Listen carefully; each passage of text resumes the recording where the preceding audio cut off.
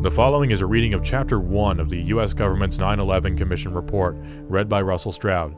To support the reader, go to ko-fi.com slash Radio Russell.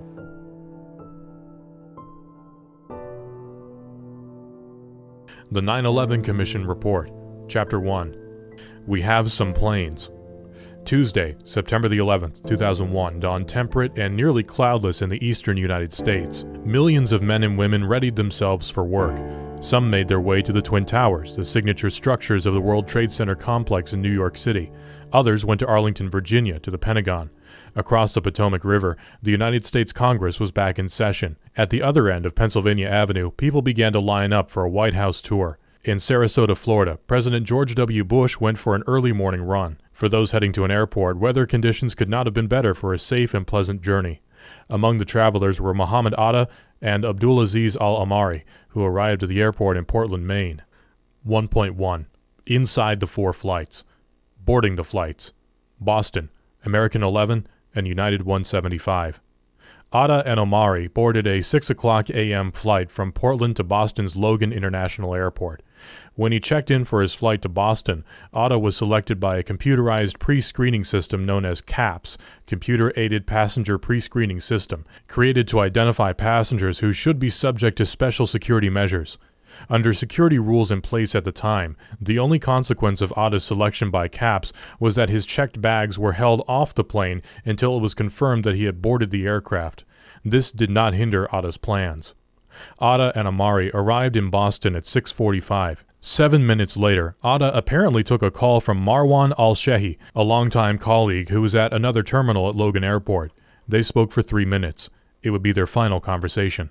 Between 6:45 and 7:40, Atta and Omari, along with Satam Al Suqami, Wael Al Shehri, and Walid Al Shehri, checked in and boarded American Airlines Flight 11, bound for Los Angeles. The flight was scheduled to depart at 7:45. In another Logan terminal, Shehi, joined by Fayez Bani Hamad, Mohand al Shehri, Ahmad al Ghamdi, and Hazma al Ghamdi, checked in for United Airlines Flight 175, also bound for Los Angeles. A couple of Shehi's colleagues were obviously unused to travel. According to the United ticket agent, they had trouble understanding the standard security questions, and she had to go over them slowly until they gave the routine, reassuring answers. Their flight was scheduled to depart at 8 o'clock. The security checkpoints through which passengers, including Atta and his colleagues, gained access to the American 11 gate were operated by Globe Security under a contract with American Airlines. In a different terminal, the single checkpoint through which passengers for United 175 passed was controlled by United Airlines, which had contracted with Huntleigh USA to perform the screening. In passing through these checkpoints, each of the hijackers would have been screened by a walk-through metal detector calibrated to detect items with at least the metal content of a 22 caliber handgun. Anyone who might have set off that detector would have been screened with a hand wand, a procedure requiring the screener to identify the metal item or items that caused the alarm. In addition, an x ray machine would have screened the hijackers' carry on belongings. The screening was in place to identify and confiscate weapons and other items prohibited from being carried onto a commercial flight. None of the checkpoint supervisors recalled the hijackers or reported anything suspicious regarding their screening. While Atta had been selected by CAPPS in Portland, three members of his hijacking team, Suqami, Wael al Shehri, and Walid al Shehri, were selected in Boston. Their selection affected only the handling of their checked bags, not their screening at the checkpoint. All five men cleared the checkpoint and made their way to the gate for American 11. Atta, Omari, and Suqami took their seats in business class, seats 8D, 8G, and 10B, respectively. The Shehri brothers had adjacent seats in row 2, Wael in 2A and Walid in 2B. In the first class cabin, they boarded American 11 between 7:31 and 7:40. The aircraft pushed back from the gate at 7:40. Shehi and his team, none of whom had been selected by CAPPS, boarded United 175 between 7:23 and 7:28. Bani Hamad in 2A, Shehri in 2B, and Shehi in 6C. Hamza Al Ghamdi in 9C, and Ahmed Al Ghamdi in 9D. Their aircraft pushed back from the gate just before 8 o'clock. Washington Dulles, American 77. Hundreds of miles southwest of Boston, at Dulles International Airport in the Virginia suburbs of Washington, D.C., five more men were preparing to take their early morning flight. At 7:15, a pair of them, Khalid Al Midhar and Majid Moqed checked in at the American Airlines ticket counter for Flight 77, bound for Los Angeles. Within the next 20 minutes, they would be followed by Hani Hanjour and two brothers, Nawaf al Hazmi and Salam al Hazmi. Hani Hanjour, Khalid al Midhar, and Majid Moqed were flagged by CAPPS.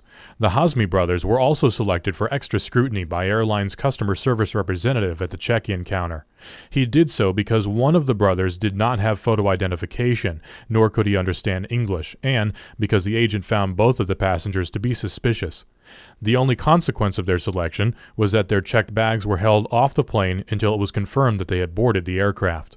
All five hijackers passed through the main terminal's West security screening checkpoint. United Airlines, which was the responsible air carrier, had contracted out the work to Argenbright Security. The checkpoint featured closed circuit television that recorded all passengers, including the hijackers, as they were screened. At 7:18, Midhar and Moqed entered the security checkpoint. Midhar and Moqed placed their carry-on bags onto the belt of the X-ray machine and proceeded through the first metal detector. Both set off the alarm, and they were directed to a second metal detector. Midhar did not trigger the alarm and was permitted through the checkpoint. After Moqed set it off, a screener wanted him. He passed the inspection. About 20 minutes later, at 7:35, another passenger for flight 77, Hani Hanjour, placed two carry-on bags on the X-ray belt in the main terminal's west checkpoint and proceeded, without alarm, through the metal detector. A short time later, Nawaf and Salam al-Hazmi entered the same checkpoint. Salam al-Hazmi cleared the metal detector and was permitted through. Nawaf al-Hazmi set off the alarms for both the first and second metal detectors and was then hand-wanded before being passed. In addition, his over the shoulder carry on bag was swiped by an explosive trace detector and then passed. The video footage indicates he was carrying an unidentified item in his back pocket, clipped to its rim. When the local Civil Aviation Security Office of the Federal Aviation Administration later investigated these security screening operations, the screeners recalled nothing out of the ordinary. They could not recall that any of the passengers they screened were CAPPS selectees. We asked a screening expert to review the videotape of the hand wanding, and he found the quality of the screener's work to have been marginal at best. The screener should have resolved what set off the alarm, and in the case of both Moqed and Hazmi, it was clear that he did not. At 7:50, Majid Moqed and Khalid Al-Midhar boarded the flight and were seated in 12A and 12B in coach. Hani Hanjour, assigned to seat 1B, first class, soon followed. The Hazmi brothers, seating in 5E and 5F, joined Hanjour in the first class cabin. Newark, United 93. Between 7.03 and 7.39, Saeed al-Ghamdi, Ahmed al-Nami, Ahmad al Haznawi, and Ziad Jarrah checked in at the United Airlines ticket counter for Flight 93, going to Los Angeles. Two checked bags, two did not. Haznawi was selected by CAPPS. His check bag was screened for explosives and then loaded onto the plane.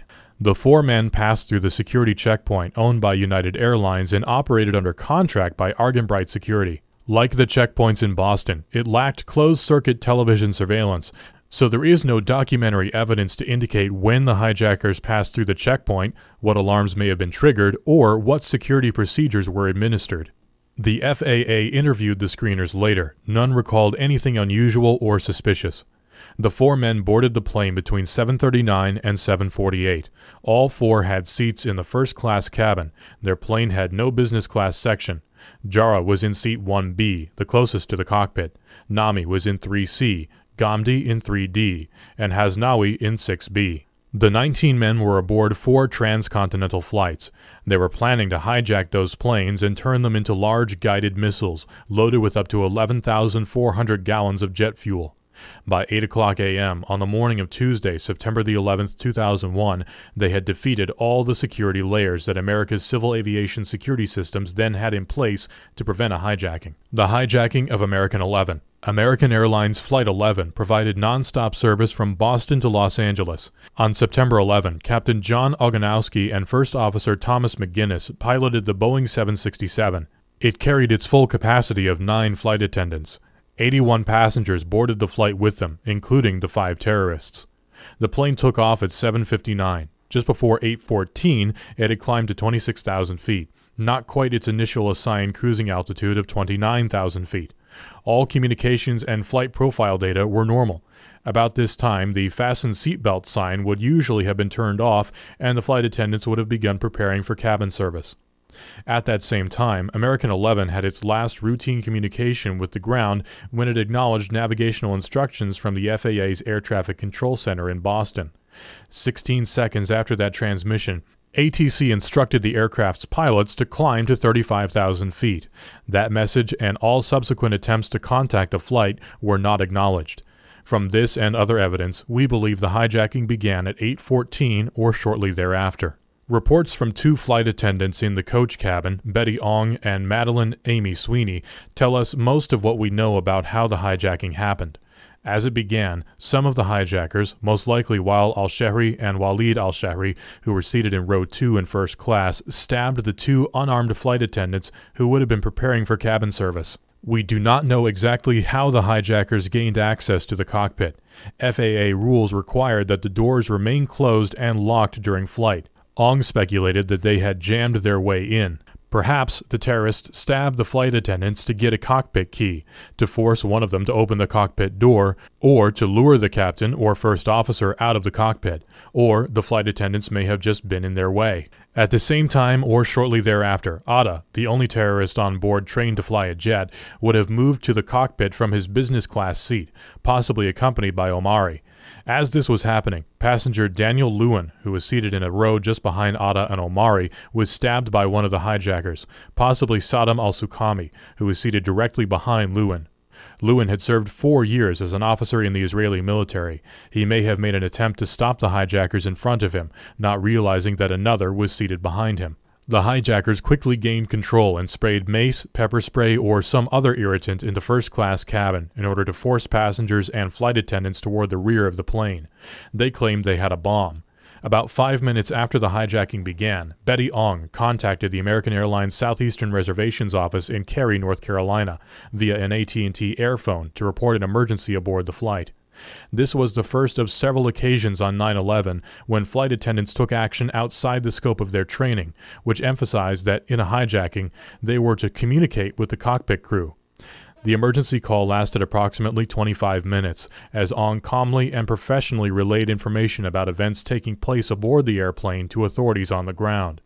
At 8:19, Ong reported, "The cockpit is not answering. Somebody's stabbed in business class, and I think there's mace, that we can't breathe. I don't know, I think we're getting hijacked.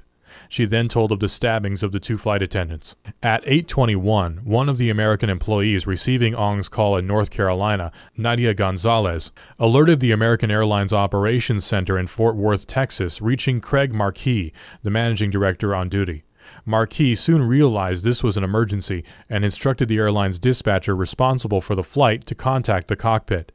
At 8:23, the dispatcher tried unsuccessfully to contact the aircraft.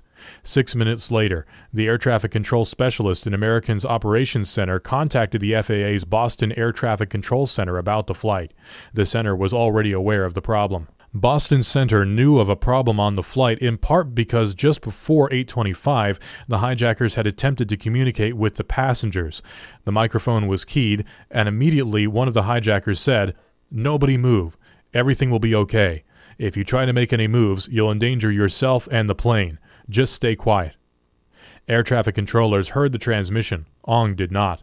The hijackers probably did not know how to operate the cockpit radio communication system correctly, and thus inadvertently broadcast their message over the air traffic control channel instead of the cabin public address channel.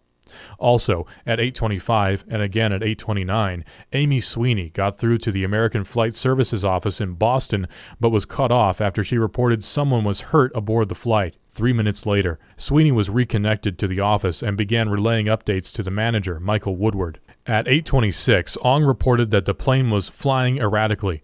A minute later, Flight 11 turned south. American also began getting identifications of the hijackers as Ong and then Sweeney passed on some of the seat numbers of those who had gained unauthorized access to the cockpit. Sweeney calmly reported on her line that the plane had been hijacked. A man in first class had his throat slashed. Two flight attendants had been stabbed. One was seriously hurt and was on oxygen, while the other's wounds seemed minor. A doctor had been requested. The flight attendants were unable to contact the cockpit, and there was a bomb in the cockpit. Sweeney told Woodward that she and Ong were trying to relay as much information as they could to people on the ground. At 8:38, Ong told Gonzalez that the plane was flying erratically again. Around this time, Sweeney told Woodward that the hijackers were Middle Easterners, naming three of their seat numbers.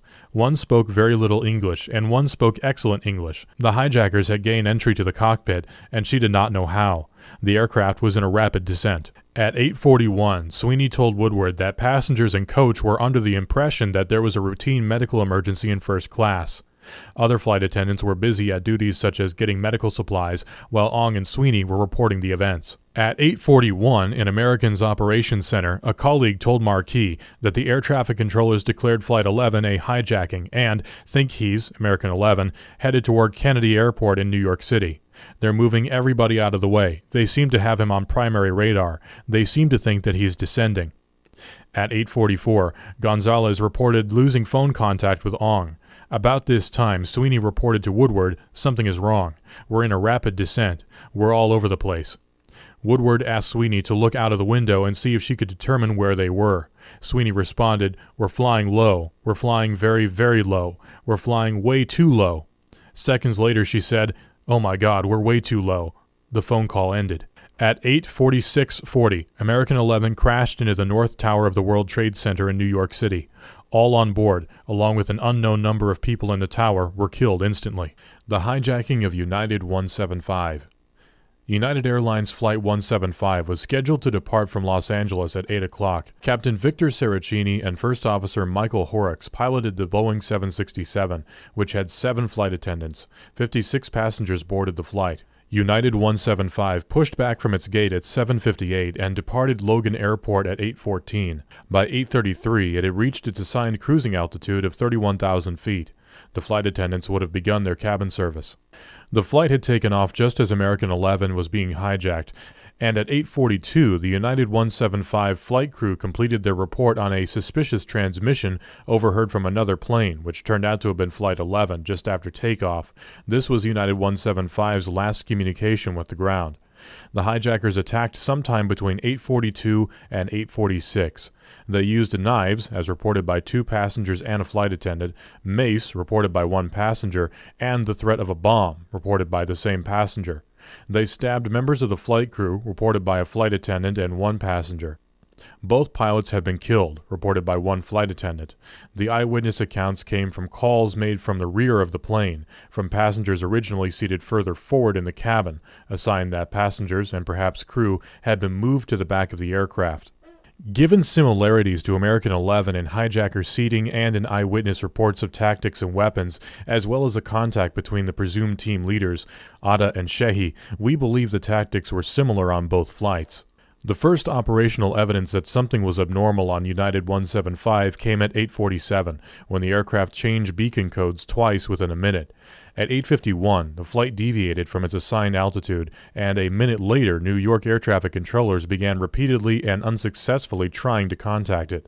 At 8:52 in Easton, Connecticut, a man named Lee Hanson received a phone call from his son, Peter, a passenger on United 175. His son told him, "I think they've taken over the cockpit." An attendant has been stabbed, and someone else up front may have been killed. The plane is making strange moves. Call United Airlines. Tell them it's Flight 175, Boston to LA. Lee Hanson then called the Easton Police Department and relayed what he had heard. Also at 8:52, a male flight attendant called the United office in San Francisco, reaching Marc Policastro. The flight attendant reported that the flight had been hijacked, both pilots had been killed, a flight attendant had been stabbed, and the hijackers were probably flying the plane. The call lasted about 2 minutes, after which Policastro and a colleague tried unsuccessfully to contact the flight. At 8:58, the flight took a heading toward New York City. At 8:59, Flight 175 passenger Brian David Sweeney tried to call his wife, Julie. He left a message on their home answering machine that the plane had been hijacked. He then called his mother, Louise Sweeney, told her the flight had been hijacked, and added that the passengers were thinking about storming the cockpit to take control of the plane away from the hijackers. At 9 o'clock, Lee Hanson received a second call from his son Peter. It's getting bad, Dad. A stewardess was stabbed. They seem to have knives and mace. They said they have a bomb. It's getting very bad on the plane. Passengers are throwing up and getting sick. The plane is making jerky movements. I don't think the pilot is flying the plane. I think we're going down. I think they intend to go to Chicago or someplace and fly it into a building. Don't worry, Dad. If it happens, it'll be very fast. My God, my God. The call ended abruptly. Lee Hanson had heard a woman scream just before it cut off. He turned on the television, and in her home so did Louise Sweeney. Both then saw the second aircraft hit the World Trade Center. At 9:03 and 11 seconds, United Airlines flight 175 struck the south tower of the World Trade Center. All on board, along with an unknown number of people in the tower, were killed instantly. The hijacking of American 77. American Airlines Flight 77 was scheduled to depart from Washington Dulles for Los Angeles at 8:10. The aircraft was a Boeing 757 piloted by Captain Charles F. Burlingame and First Officer David Charlebois. There were four flight attendants. On September the 11th, the flight carried 58 passengers. American 77 pushed back from its gate at 8:09 and took off at 8:20. At 8:46, the flight reached its assigned cruising altitude of 35,000 feet. Cabin service would have begun. At 8:51, American 77 transmitted its last routine radio communication. The hijacking began between 8:51 and 8:54. As on American 11 and United 175, the hijackers used knives, reported by one passenger, and moved all the passengers and possibly crew to the rear of the aircraft, reported by one flight attendant and one passenger. Unlike the earlier flights, the Flight 77 hijackers were reported by a passenger to have box cutters. Finally, a passenger reported that an announcement had been made by the pilot that the plane had been hijacked. Neither of the first hand accounts mentioned any stabbings or the threat or use of either a bomb or mace, though both witnesses began the flight in the first class cabin. At 8:54, the aircraft deviated from its assigned course, turning south. 2 minutes later, the transponder was turned off and even primary radar contact with the aircraft was lost. The Indianapolis Air Traffic Control Center repeatedly tried and failed to contact the aircraft. American Airlines dispatchers also tried without success. At 9 o'clock, American Airlines Executive Vice President Gerard Arpey learned that communications had been lost with American 77. This was now the second American aircraft in trouble. He ordered all American Airlines flight in the Northeast that had not taken off to remain on the ground. Shortly before 9:10, suspecting that American 77 had been hijacked, American headquarters concluded that the second aircraft to hit the World Trade Center might have been Flight 77. After learning that United Airlines was missing a plane, American Airline headquarters extended the ground stop nationwide. At 9:12, Renee May called her mother, Nancy May, in Las Vegas. She said her flight was being hijacked by six individuals who had moved them to the rear of the plane. She asked her mother to alert American Airlines. Nancy May and her husband promptly did so. At some point between 9:16 and 9:26, Barbara Olson called her husband, Ted Olson, the Solicitor General of the United States. She reported that the flight had been hijacked and the hijackers had knives and box cutters. She further indicated that the hijackers were not aware of her phone call and that they had put all the passengers in the back of the plane. About a minute into the conversation, the call was cut off. Solicitor General Olson tried unsuccessfully to reach Attorney General John Ashcroft. Shortly after the first call, Barbara Olson reached her husband again. She reported that the pilot had announced that the flight had been hijacked, and she asked her husband what she should tell the captain to do. Ted Olson asked for her location, and she replied that the aircraft was then flying over houses. Another passenger told her they were traveling northeast. The Solicitor General then informed his wife of the two previous hijackings and crashes. She did not display signs of panic and did not indicate any awareness of an impending crash. At that point, the second call was cut off. At 9:29, the autopilot on American 77 was disengaged. The aircraft was at 7,000 feet at approximately 38 miles west of the Pentagon. At 9:32, controllers at the Dulles Terminal Radar Approach Control observed a primary radar target tracking eastbound at a high rate of speed. This was later determined to have been Flight 77. At 9:34, Ronald Reagan Washington National Airport advised the Secret Service of an unknown aircraft heading in the direction of the White House. American 77 was then 5 miles west-southwest of the Pentagon and began a 330-degree turn. At the end of the turn, it was descending through 2,200 feet, pointing toward the Pentagon and downtown Washington. The hijacker pilot then advanced the throttles to maximum power and dove toward the Pentagon. At 9:37 and 46 seconds, American Airlines Flight 77 crashed into the Pentagon, traveling at approximately 530 miles per hour. All on board, as well as many civilian and military personnel in the building, were killed. The battle for United 93. At 8:42, United Airlines Flight 93 took off from Newark, New Jersey Liberty International Airport bound for San Francisco. The aircraft was piloted by Captain Jason Dahl and First Officer Leroy Homer, and there were 5 flight attendants. 37 passengers, including the hijackers, boarded the plane. Scheduled to depart the gate at 8 o'clock, the Boeing 757's takeoff was delayed because of the airport's typically heavy morning traffic. The hijackers had planned to take flights scheduled to depart at 7:45, American 11, 8 o'clock, United 175 and United 93, and 8:10, American 77. Three of the flights had actually taken off within 10 or 15 minutes of their planned departure times. United 93 would ordinarily have taken off about 15 minutes after pulling away from the gate. When it left the ground at 8:42, the flight was running more than 25 minutes late. As United 93 left Newark, the flight's crew members were unaware of the hijacking of American 11. Around 9 o'clock, the FAA, American, and United were facing the staggering realization of apparent multiple hijackings. At 9:03, they would see another aircraft strike the World Trade Center. Crisis managers at the FAA and the airlines did not yet act to warn other aircraft. At the same time, Boston Center realized that a message transmitted just before 8:25 by the hijacker pilot of American 11 included the phrase "We have some planes." No one at the FAA or the airlines that day had ever dealt with multiple hijackings. Such a plot had not been carried out anywhere in the world in more than 30 years, and never in the United States. As news of the hijackings filtered through the FAA and the airlines, it does not seem to have occurred to their leadership that they needed to alert other aircraft in the air that they too might be at risk. United 175 was hijacked between 842 and 846, and awareness of that hijacking began to spread after 851. American 77 was hijacked between 851 and 854. By 9, FAA and airline officials began to comprehend that attackers were going after multiple aircraft. American Airlines nationwide ground stop between 905 and 910 was followed by United Airlines ground stop. FAA controllers at Boston Center, which had tracked the first two hijackings, requested at 907 that Herndon Command Center get messages to airborne aircraft to increase security for the cockpit. There is no evidence that Herndon took such action. Boston Center immediately began speculating about other aircraft that might be in danger, leading them to worry about a transcontinental flight, Delta 1989, that in fact was not hijacked. At 9:19, the FAA's New England regional office called Herndon and asked that Cleveland Center advise Delta 1989 to use extra cockpit security.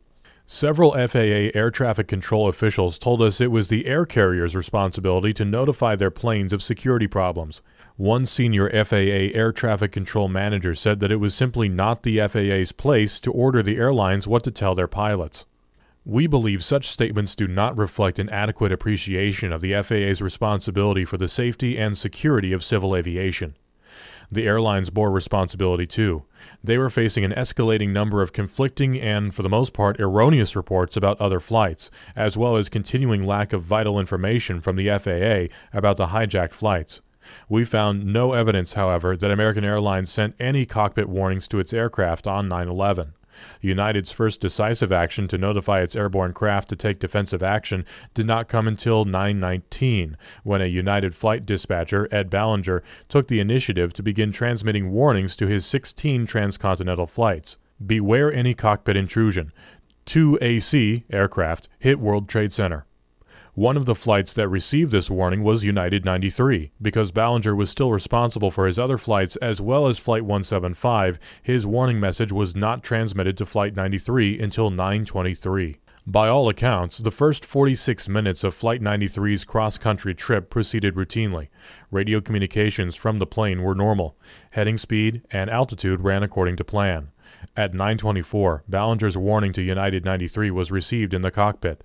Within 2 minutes, at 9:26, the pilot, Jason Dahl, responded with a note of puzzlement. "Ed, confirm latest message, please." Jason. The hijackers attacked at 9:28. While traveling 35,000 feet above eastern Ohio, United 93 suddenly dropped 700 feet. 11 seconds into the descent, the FAA's Air Traffic Control Center in Cleveland received the first of two radio transmissions from the aircraft. During the first broadcast, the captain or first officer could be heard declaring Mayday amid the sounds of a physical struggle in the cockpit. The second radio transmission, 35 seconds later, indicated that the flight was continuing. The captain or first officer could be heard shouting, Hey, get out of here! Get out of here! Get out of here! On the morning of 9 11, there were only 37 passengers on United 93, 33 in addition to the four hijackers. This was below the norm for Tuesday mornings during the summer of 2001, but there is no evidence that the hijackers manipulated passenger levels or purchased additional seats to facilitate their operation. The terrorists who hijacked three other commercial flights on 9 11 operated in five man teams. They initiated their cockpit takeover within 30 minutes of takeoff. On Flight 93, however, the takeover took place 46 minutes after takeoff, and there were only four hijackers.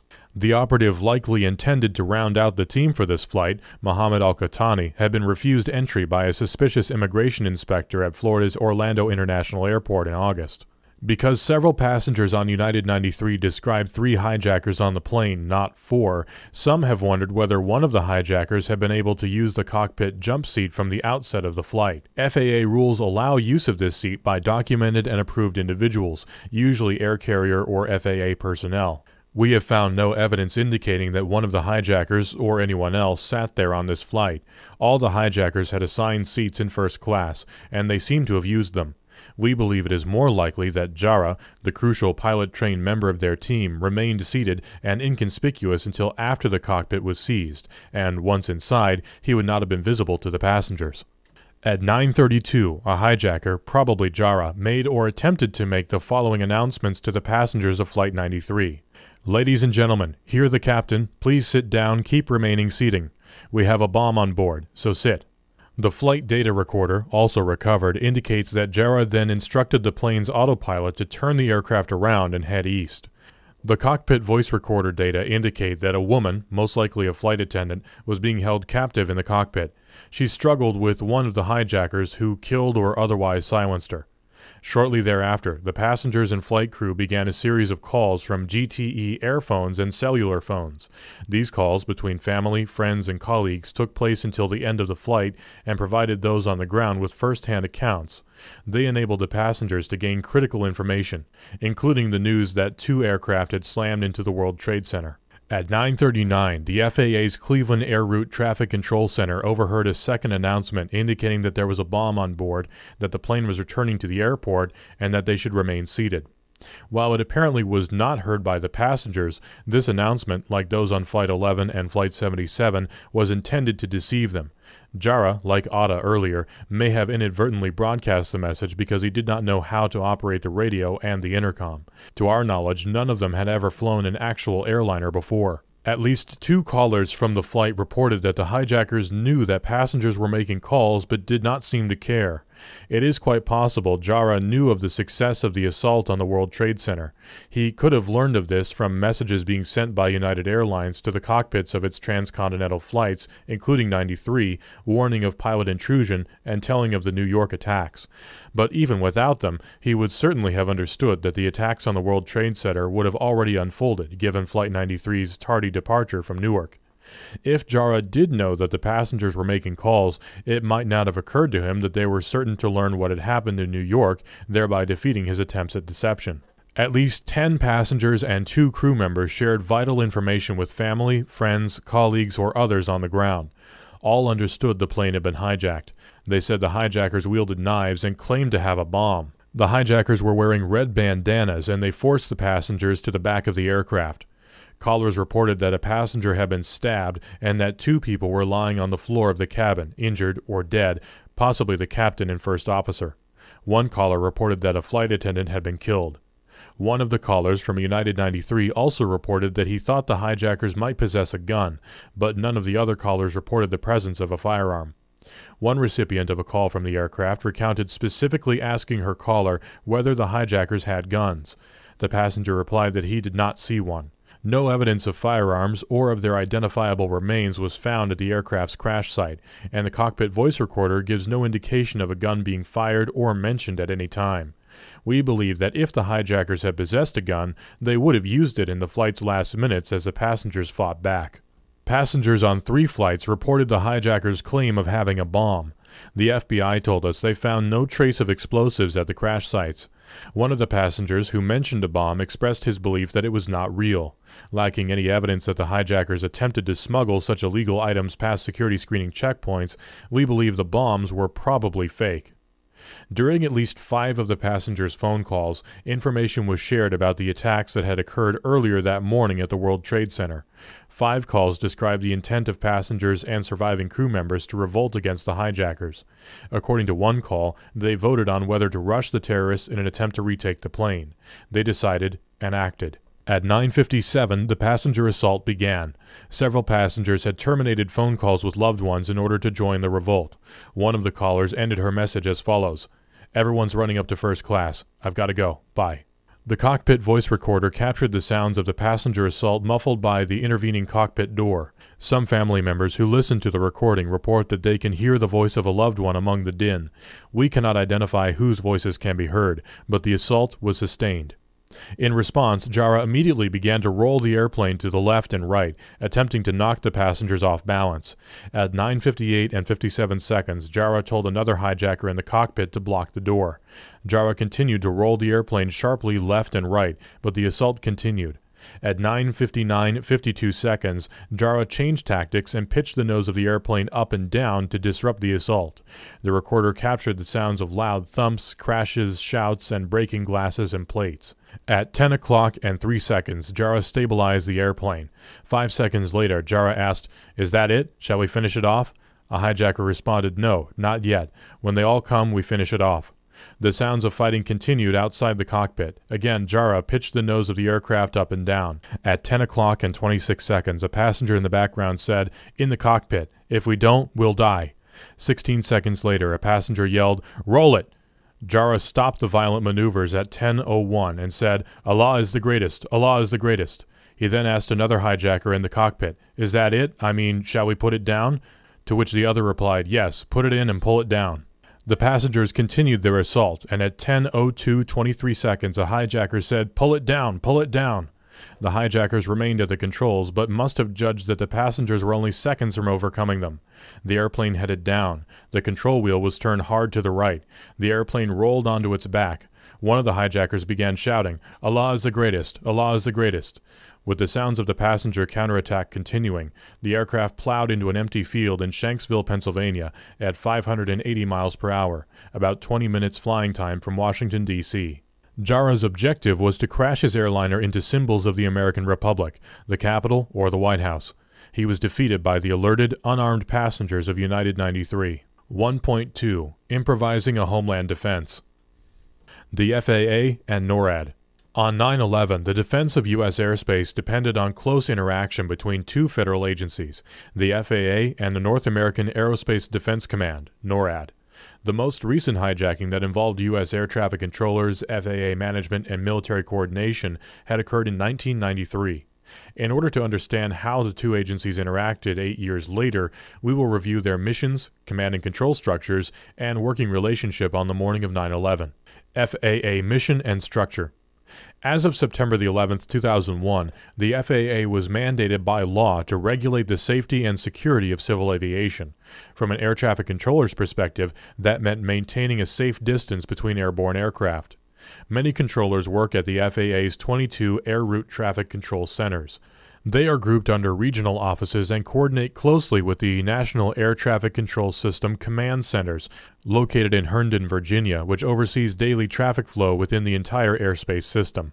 FAA headquarters is ultimately responsible for the management of the National Airspace System. The Operations Center, located at FAA headquarters, receives notifications of incidents, including accidents and hijackings. FAA control centers often receive information and make operational decisions independently of one another. On 9 11, the four hijacked aircraft were monitored mainly by the centers in Boston, New York, Cleveland, and Indianapolis. Each center thus had part of the knowledge of what was going on across the system. What Boston knew was not necessarily known by centers in New York, Cleveland, or Indianapolis, or for that matter by the command center in Herndon or by FAA headquarters in Washington. Controllers track airliners, such as the four aircraft hijacked on 9 11, primarily by watching the data from a signal emitted by each aircraft's transponder equipment. Those four planes, like all aircraft traveling above 10,000 feet, were required to emit a unique transponder signal while in flight. On 9 11, the terrorists turned off the transponders on three of the four hijacked aircraft. With its transponder off, it is possible, though more difficult, to track an aircraft by its primary radar returns. But unlike transponder data, primary radar returns do not show the aircraft's identity and altitude. Controllers at centers rely so heavily on transponder signals that they usually do not display primary radar returns on their radar scopes, but they can change the configuration of their scopes so they can see primary radar returns. They did this on 9 11 when the transponder signals for three of the aircraft disappeared. Before 9 11, it was not unheard of for a commercial aircraft to deviate slightly from its course or for an FAA controller to lose radio contact with a pilot for a short period of time. A controller could also briefly lose a commercial aircraft's transponder signal, although this happened much less frequently. However, the simultaneous loss of radio and transponder signal would be a rare and alarming occurrence, and would normally indicate a catastrophic system failure or an aircraft crash. In all of these instances, the job of the controller was to reach out to the aircraft, the parent company of the aircraft, and other planes in the vicinity in an attempt to reestablish communications and set the aircraft back on course. Alarm bells would not start ringing until these efforts, which could take five minutes or more, were tried and had failed. NORAD's mission and structure. NORAD is a binational command established in 1958 between the United States and Canada. Its mission was and is to defend the airspace of North America and to protect the continent. That mission does not distinguish between internal and external threats, but because NORAD was created to counter the Soviet threat, it came to define its job as defending against external attacks. The threat of Soviet bombers diminished significantly as the Cold War ended, and the number of NORAD alert sites was reduced from its Cold War high of 26. Some within the Pentagon argued in the 1990s that the alert sites should be eliminated entirely. In an effort to preserve their mission, members of the air defense community advocated the importance of air sovereignty against emerging asymmetric threats to the United States drug smuggling, non state and state sponsored terrorists, and the proliferation of weapons of mass destruction and ballistic missile technology. NORAD perceived the dominant threat to be from cruise missiles. Other threats were identified during the late 1990s, including terrorist use of aircraft as weapons. Exercises were conducted to counter this threat, but they were not based on actual intelligence. In most instances, the main concern was the use of such aircraft to deliver weapons of mass destruction. Prior to 9 11, it was understood that an order to shoot down a commercial aircraft would have to be issued by the National Command Authority, a phrase used to describe the President and Secretary of Defense. Exercise planners also assumed that the aircraft would originate from outside the United States, allowing time to identify the target and scramble interceptors. The threat of terrorists hijacking commercial airliners within the United States and using them as guided missiles was not recognized by NORAD before 9 11. Notwithstanding the identification of these emerging threats, by 9 11 there were only seven alert sites left in the United States, each with two fighter aircraft on alert. This led some NORAD commanders to worry that NORAD was not postured adequately to protect the United States. In the United States, NORAD is divided into three sectors. On 9 11, all the hijacked aircraft were in NORAD's Northeast Air Defense Sector, also known as NEADS, which is based in Rome, New York. That morning, NEADS could call on two alert sites, each with one pair of ready fighters Otis Air National Guard Base in Cape Cod, Massachusetts, and Langley Air Force Base in Hampton, Virginia. Other facilities not on alert would need time to arm the fighters and organize crews. NEADS reported to the Continental U.S. NORAD region, CONR, headquarters in Panama City, Florida, which in turn reported to NORAD headquarters in Colorado Springs, Colorado. Interagency collaboration. The FAA and NORAD had developed protocols for working together in the event of a hijacking. As they existed on 9 11, the protocols for the FAA to obtain military assistance from NORAD required multiple levels of notification and approval at the highest levels of government. FAA guidance to controllers on hijack procedures assumed that the aircraft pilot would notify the controller via radio or by squawking a transponder code of 7500, the universal code for a hijack in progress.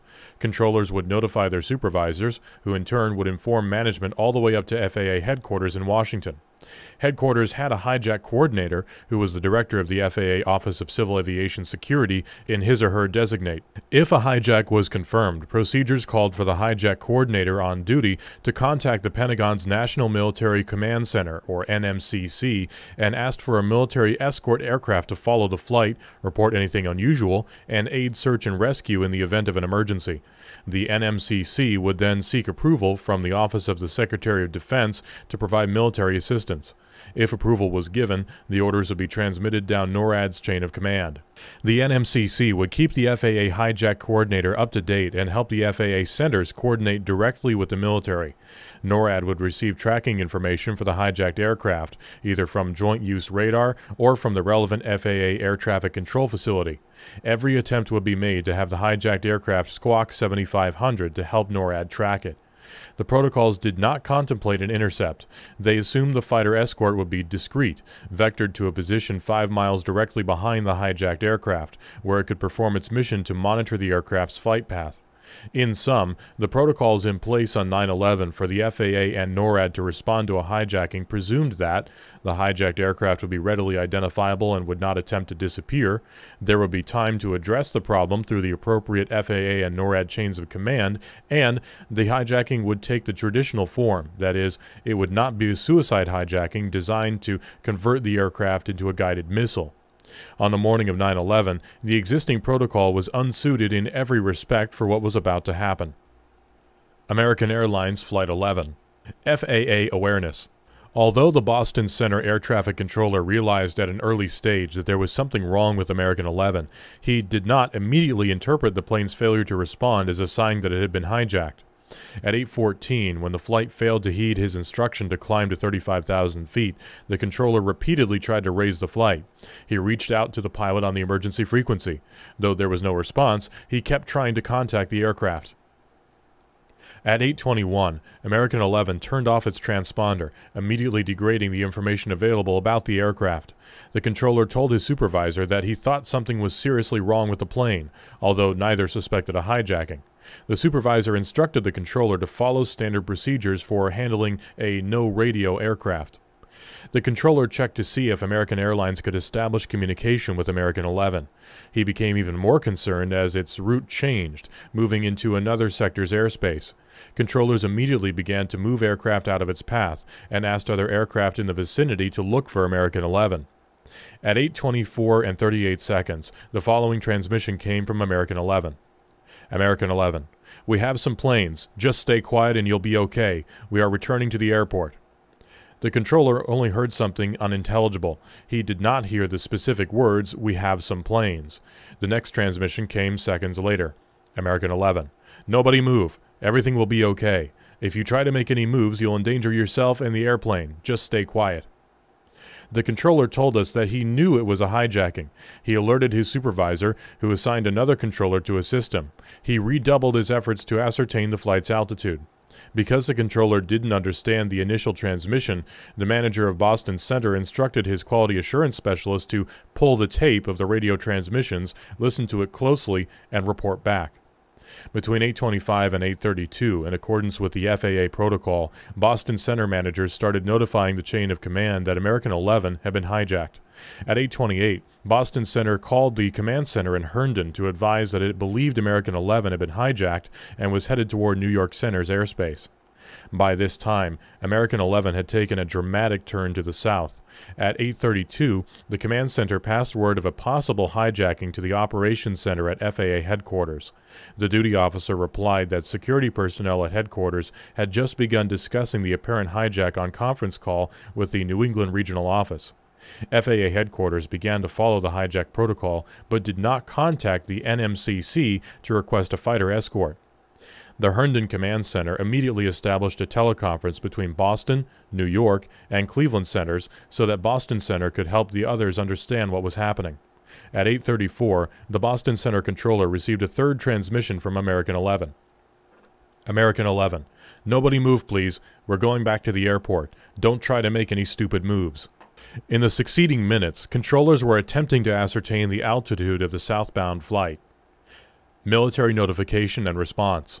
Boston Center did not follow the protocol in seeking military assistance through the prescribed chain of command. In addition to notifications within the FAA, Boston Center took the initiative at 834 to contact the military through the FAA's Cape Cod facility. The center also tried to contact a former alert site in Atlantic City, unaware it had been phased out. At 8:37 and 52 seconds, Boston Center reached NEADS. This was the first notification received by the military at any level that American 11 had been hijacked. FAA. Hi, Boston Center TMU. We have a problem here. We have a hijacked aircraft headed toward New York, and we need you guys to. We need someone to scramble some F 16s or something up there. Help us out. NEADS. Is this real world or exercise? FAA. No, this is not an exercise, not a test. NEADS alerted to battle stations the two F 15 alert aircraft at Otis Air Force Base in Falmouth, Massachusetts, 153 miles away from New York City the Air Defense of America began with this call. At NEADS, the report of the hijacking was relayed immediately to Battle Commander Colonel Robert Marr. After ordering the Otis fighters to battle stations, Colonel Marr phoned Major General Larry Arnold, commanding general of the 1st Air Force and NORAD's continental region. Marr sought authorization to scramble the Otis fighters. General Arnold later recalled instructing Marr to go ahead and scramble them, and we'll get authorities later. General Arnold then called NORAD headquarters to report. F-15 fighters were scrambled at 846 from Otis Air Force Base, but NEADS did not know where to send the alert fighter aircraft, and the officer directing the fighters pressed for more information. I don't know where I'm scrambling these guys to. I need a direction, a destination. Because the hijackers had turned off the plane's transponder, NEADS personnel spent the next minutes searching their radar scopes for the primary radar return. American 11 struck the North Tower at 846. Shortly after 8:50, while NEADS personnel were still trying to locate the flight, word reached them that a plane had hit the World Trade Center. Radar data show the Otis fighters were airborne at 8:53. Lacking a target, they were vectored toward military-controlled airspace off the Long Island coast. To avoid New York area air traffic and uncertain about what to do, the fighters were brought down to military airspace to hold as needed. From 9:09 to 9:13, the Otis fighters stayed in this holding pattern. In summary, NEADS received notice of the hijacking nine minutes before it struck the North Tower. That nine minutes notice before impact was the most the military would receive of any of the four hijackings. United Airlines Flight 175. FAA Awareness. One of the last transmissions from United Airlines Flight 175 is, in retrospect, chilling. By 8:40, controllers at the FAA's New York Center were seeking information on American 11. At approximately 8:42, shortly after entering New York Center's airspace, the pilot of United 175 broke in with the following transmission. United 175. New York UAL 175 Heavy. FAA. UAL 175, go ahead. UAL 175. Yeah, we figured we'd wait to go to your center. Uh, we heard a suspicious transmission on our departure out of Boston uh, with someone, sounded like someone keyed the mics and said, uh, everyone stay in your seats. FAA. Oh, okay. I'll pass that along over here. Minutes later, United 175 turned southwest without clearance from air traffic control. At 8:47, seconds after the impact of American 11, United 175's transponder code changed and then changed again. These changes were not noticed for several minutes. However, because the same New York Center controller was assigned to both American 11 and United 175, the controller knew American 11 was hijacked. He was focused on searching for it after the aircraft disappeared at 846. At 8:48, while the controller was still trying to locate American 11, a New York Center manager provided it the following report on a command center teleconference about American 11. Manager, New York Center. Okay, this is New York Center. We're watching the airplane. I also had conversation with American Airlines and they told us that they believe that one of their stewardesses was stabbed and that there are people in the cockpit that have control of the aircraft and that's all the information they have right now. The New York Center controller and manager were unaware that American 11 had already crashed. At 8:51, the controller noticed the transponder change from United 175 and tried to contact the aircraft. There was no response. Beginning at 8:52, the controller made repeated attempts to reach the crew of United 175. Still no response. The controller checked his radio equipment and contacted another controller at 8:53 saying that we may have a hijack, and he could not find the aircraft. Another commercial aircraft in the vicinity then radioed in with reports over the radio of a commuter plane hitting the World Trade Center. The controller spent the next several minutes handing off the other flights on his scope to other controllers and moving aircraft out of the way of the unidentified aircraft, believed to be 175, as it moved southwest and then turned northeast toward New York City. At about 8:55, the controller in charge notified a New York Center manager that she believed United 175 had also been hijacked. The manager tried to notify the regional managers and was told that they were discussing a hijacked aircraft, presumably American 11, and refused to be disturbed. At 8:58, the New York Center controller searching for United 175 told another New York controller, "We might have a hijack over here, two of them." Between 9:01 and 9:02, a manager from New York Center told the command center in Herndon, "Manager, New York Center, we have several situations going on here. It's escalating big, big time. We need to get the military involved with us. We're we're involved in something else. We have other aircraft that may have a similar situation going on here." The other aircraft referred to by New York Center was United 175.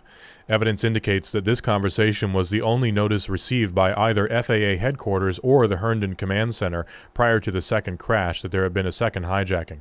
While the command center was told about this other aircraft at 901, New York Center contacted New York Terminal Approach Control and asked for help in locating United 175. Terminal.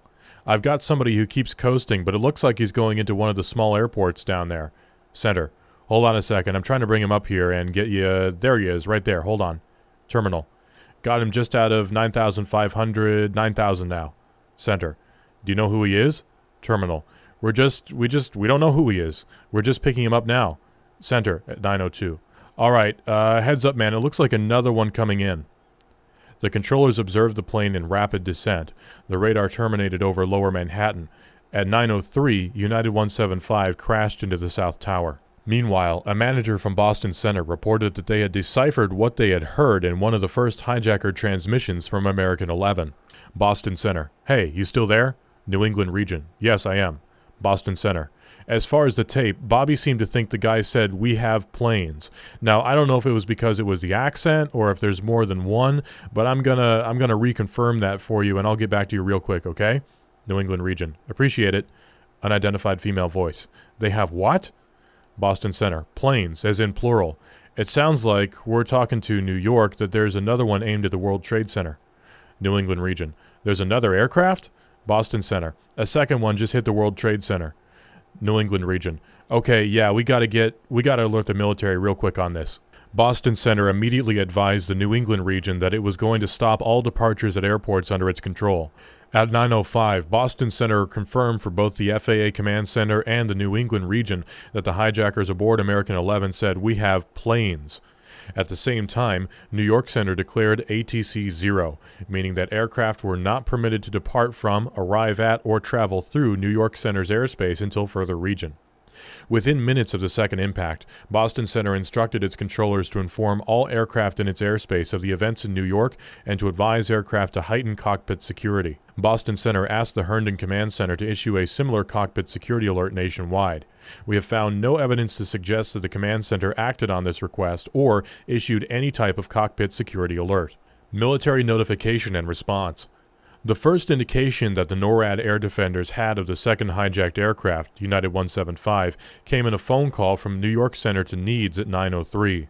The notice came at about the time the plane was hitting the South Tower. By 908, the mission crew commander at NEADS learned of the second explosion at the World Trade Center and decided against holding the fighters in military airspace away from Manhattan. Mission crew commander, NEADS. This is what I foresee that we probably need to do. We need to talk to FAA. We need to tell them if this stuff is going to keep on going, we need to take those fighters, put them over Manhattan. That's the best thing. That's the best play right now. So coordinate with the FAA. Tell them if there's more out there, which we don't know, let's get them over Manhattan. At least we got some kind of play. The FAA cleared the airspace.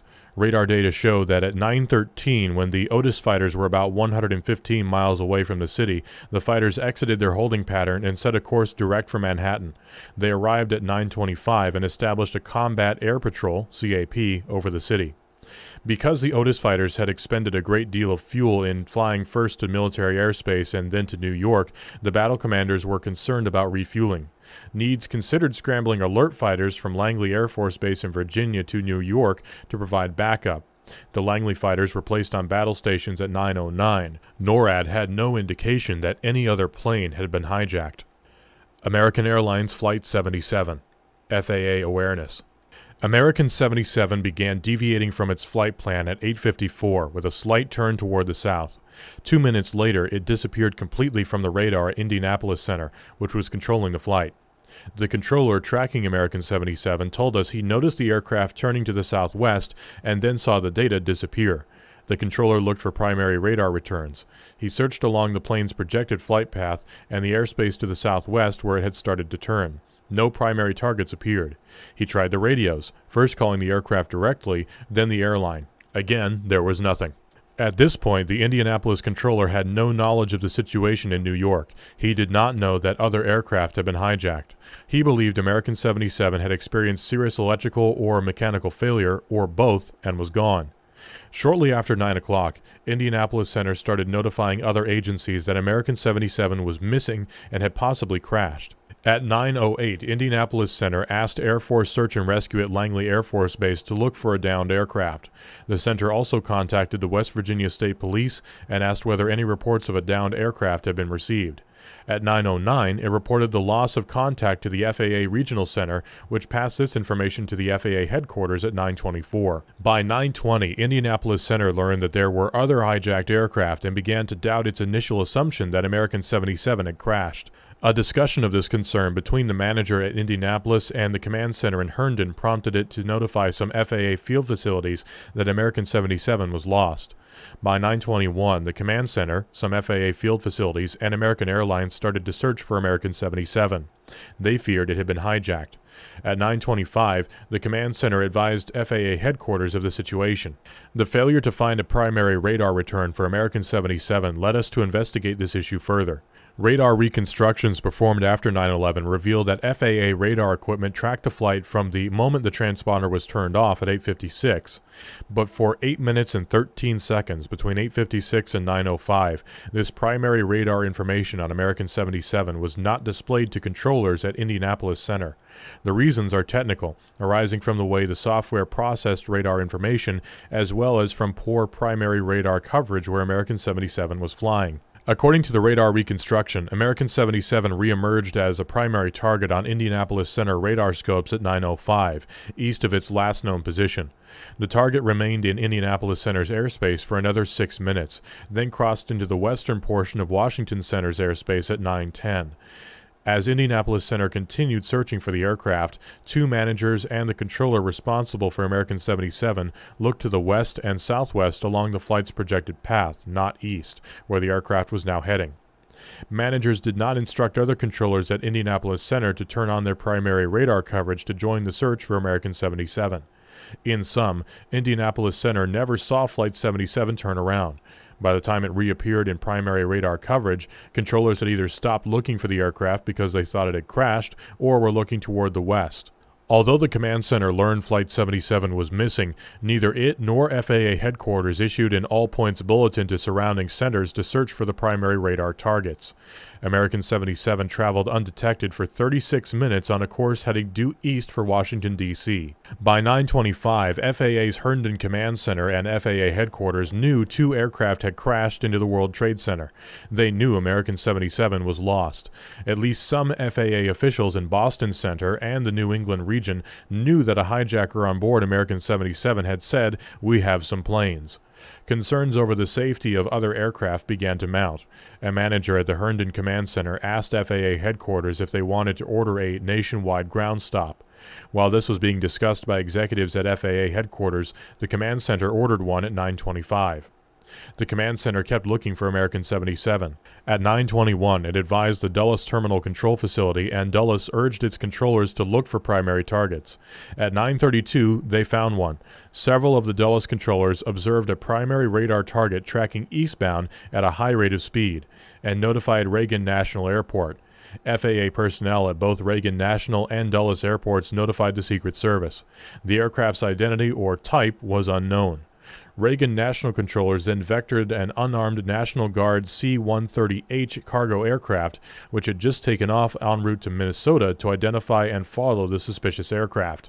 The C 130H pilot spotted it, identified it as a Boeing 757, attempted to follow its path, and at 9:38 seconds after impact, reported to the control tower. Looks like that aircraft crashed into the Pentagon, sir. Military notification and response. NORAD heard nothing about the search for American 77. Instead, the NEADS air defenders heard renewed reports about a plane that no longer existed, American 11. At 921, NEADS received a report from the FAA. FAA, Military Boston Center, I just heard a report that American 11 is still in the air and it's on its way towards, headed towards Washington. NEADS. okay, American 11 is still in the air? FAA, yes. NEADS. on its way toward Washington? FAA, that was another. It was evidently another aircraft that hit the tower. That's the latest report we have. NEADS. Okay. FAA. I'm going to try to confirm an ID for you, but I would assume he's somewhere over uh, either New Jersey or somewhere further south. NEADS. Okay, so American 11 isn't the hijack at all then, right? FAA. No, he is a hijack. NEADS. He. American 11 is a hijack? FAA. Yes. NEADS. And he's headed into Washington? FAA. Yes, this could be a third aircraft. The mention of a third aircraft was not a reference to American 77. There was confusion at that moment in the FAA. Two planes had struck the World Trade Center, and Boston Center had heard from FAA headquarters in Washington that American 11 was still airborne. We have been unable to identify the source of this mistaken FAA information. The NEADS technician who took this call from the FAA immediately passed the word to the mission crew commander, who reported to the NEADS battle commander. Mission crew commander, NEADS. Okay, uh, American Airlines is still airborne. 11, the first guy, he's headed towards Washington, okay? I think we need to scramble Langley right now, and I'm going to take the fighters from Otis, try to chase this guy down if I can find him. After consulting with NEADS Command, the crew commander issued the order at 923. Okay, scramble Langley. Head them toward Washington area. If they're there, then we'll run on them. These guys are smart. That order was processed and transmitted to Langley Air Force Base at 924. Radar data show the Langley fighters airborne at 930. NEADS decided to keep the Otis fighters over New York. The heading of the Langley fighters was adjusted to send them to the Baltimore area. The mission crew commander explained to us that the purpose was to position the Langley fighters between the reported southbound American 11 and the nation's capital. At the suggestion of the Boston Center military liaison, NEADS contacted the FAA's Washington Center to ask about American 11.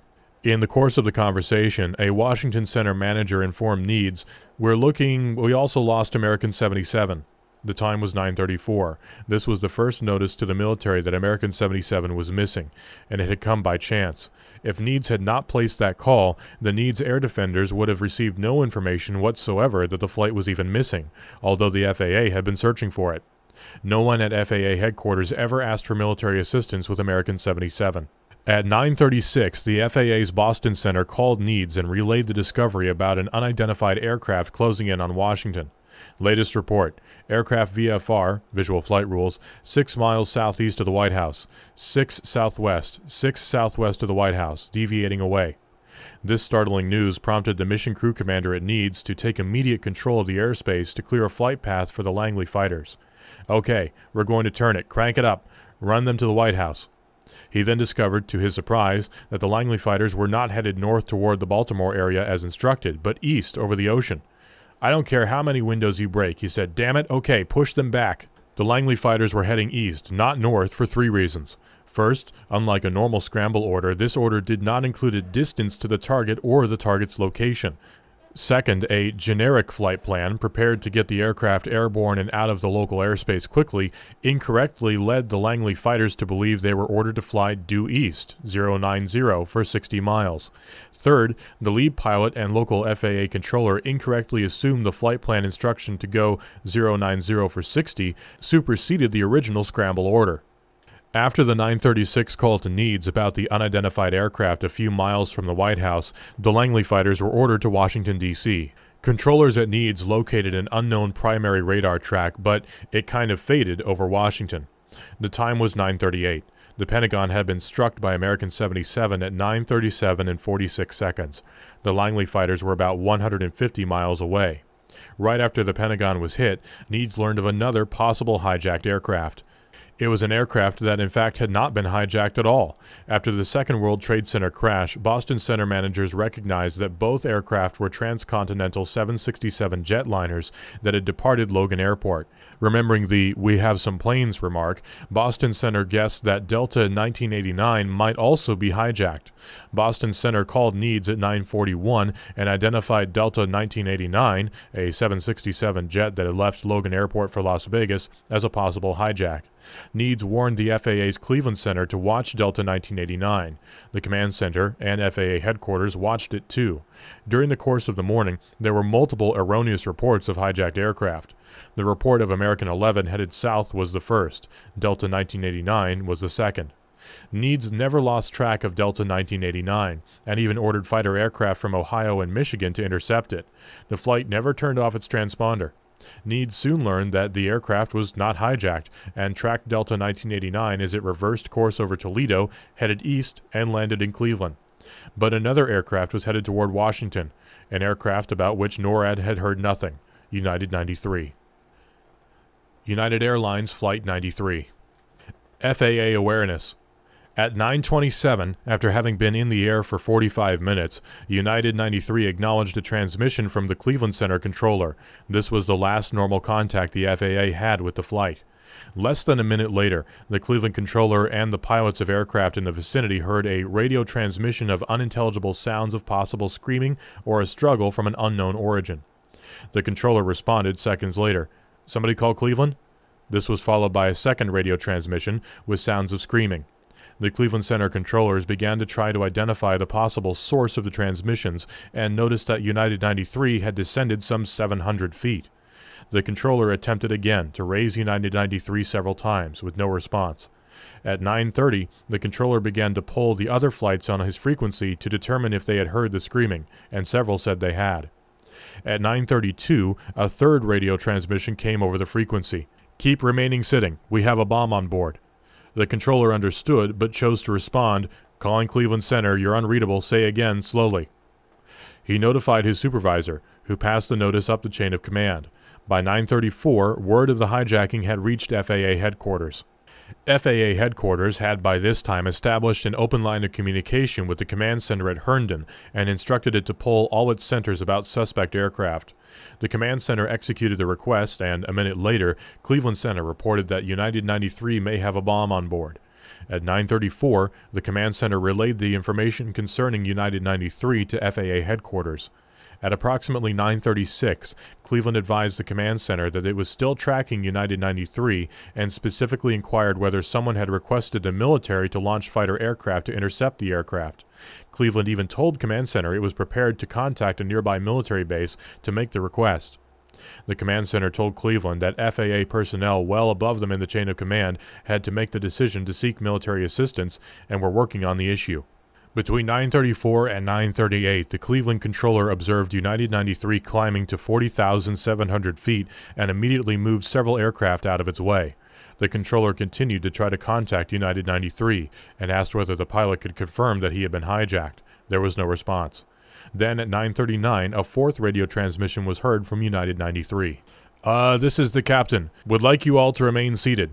There's a bomb on board, and we are going back to the airport, and to have our demands unintelligible. Please remain quiet. The controller responded. United 93, understand you have a bomb on board. Go ahead. The flight did not respond. From 934 to 1008, a command center facility manager provided frequent updates to acting deputy administrator Monty Belger and other executives at FAA headquarters as United 93 headed toward Washington D.C.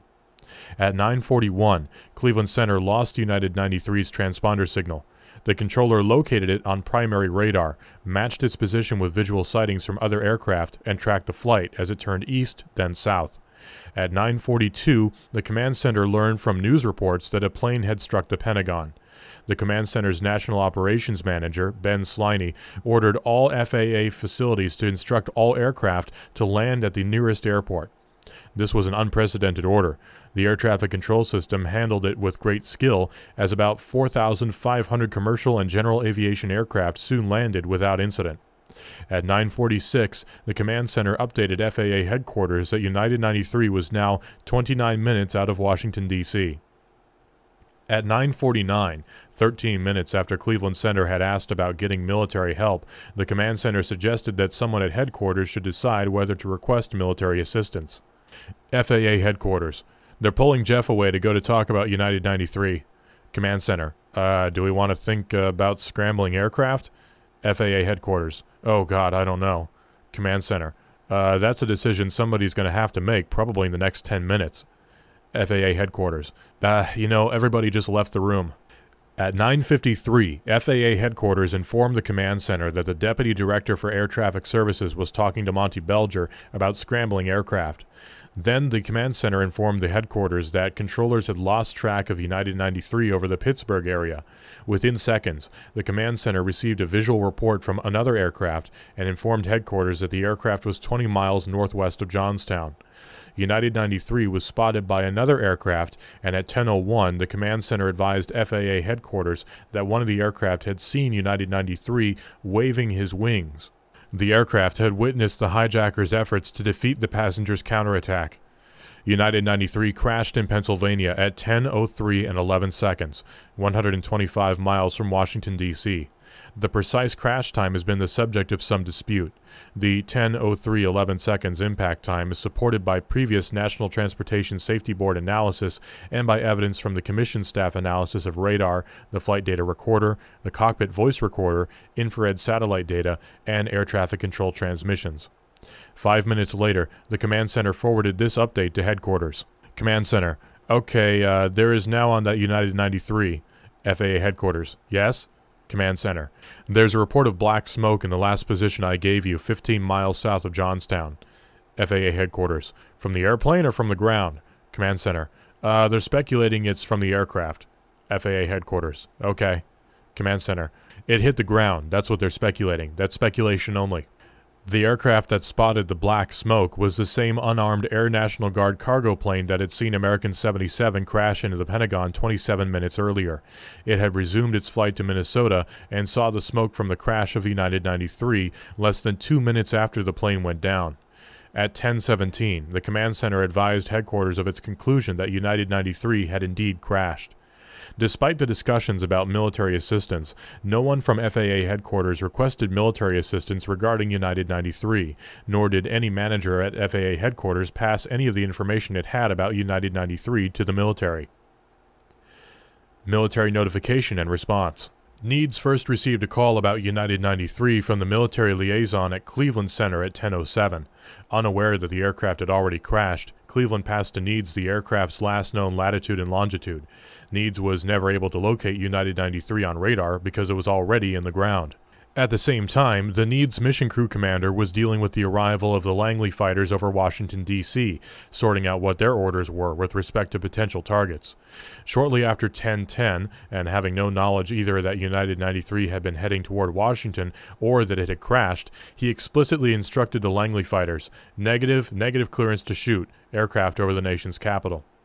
The news of a reported bomb on board United 93 spread quickly at NEADS. The air defenders searched for United 93's primary radar return and tried to locate other fighters to scramble. NEADS called Washington Center to report. NEADS. I also want to give you a heads up, Washington. FAA, DC. Go ahead. NEADS. United 93. Have you got information on that yet?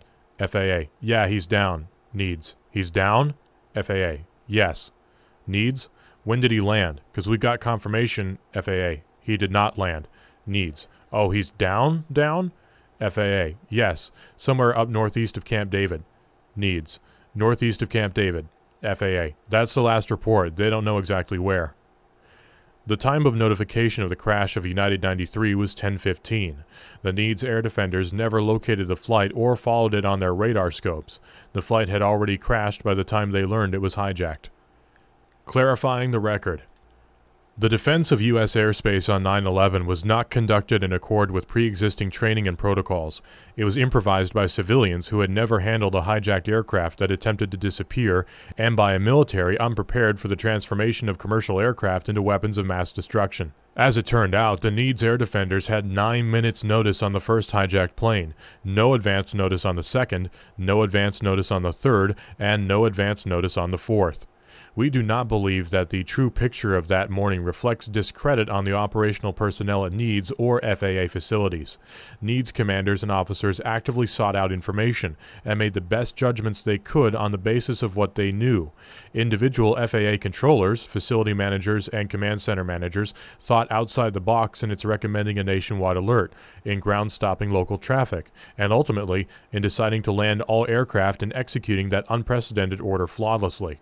More than the actual events, inaccurate government accounts of those events make it appear that the military was notified in time to respond to two of the hijackings, raising questions about the adequacy of the response.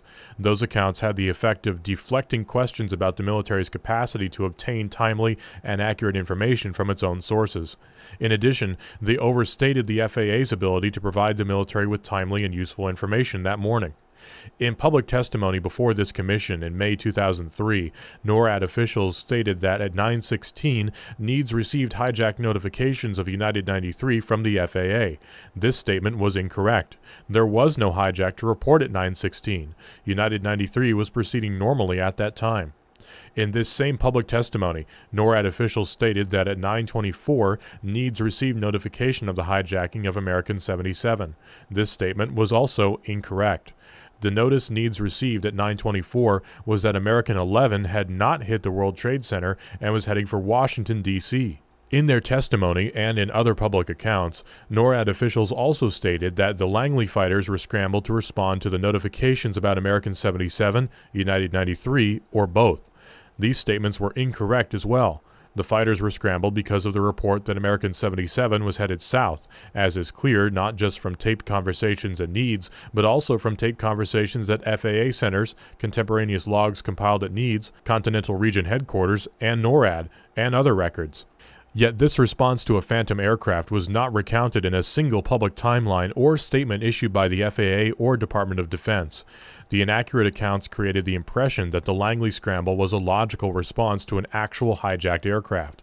In fact, not only was the scramble prompted by the mistaken information about American 77, but NEADS never received notice that American 77 was hijacked. It was notified at 9:34 that American 77 was lost. Then, minutes later, NEADS was told that an unknown plane was 6 miles southwest of the White House. Only then did the already scrambled airplane start moving directly toward Washington D.C. Thus, the military did not have the 14 minutes to respond to American 77, as testimony to the Commission in May 2003 suggested. It had at most one or two minutes to react to the unidentified plane approaching Washington, and the fighters were in the wrong place to be able to help. They had been responding to a report of an aircraft that did not exist. Nor did the military have 47 minutes to respond to United 93, as would be implied by the account that it received notice of the flight's hijacking at 916. By the time the military learned about the flight, it had crashed. We now turn to the role of national leadership in the events that morning. 1.3 National Crisis Management when American 11 struck the World Trade Center at 846, no one in the White House or traveling with the president knew that it had been hijacked. While that information circulated within the FAA, we found no evidence that the hijacking was reported to any other agency in Washington before 846. Most federal agencies learned about the crash in New York from CNN.